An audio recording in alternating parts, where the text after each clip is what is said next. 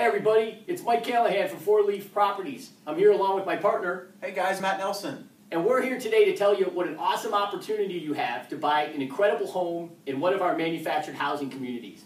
And the best way for us to talk about our manufactured homes is, well, I think just to draw a little picture. So let's just say you're currently living in your apartment. Here you are.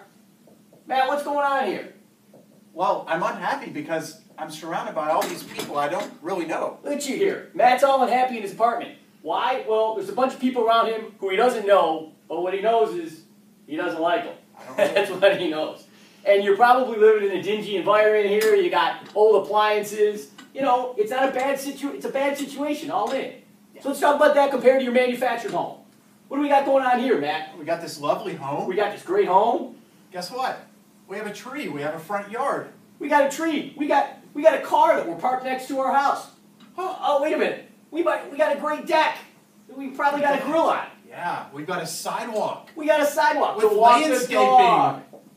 Unbelievable. So say to yourself, if I'm up here, what, what does this equal? What's the one word to describe this? This equals sucks. This sucks. This sucks. But this, what does this equal? That, that equals awesome. Awesome. Awesome.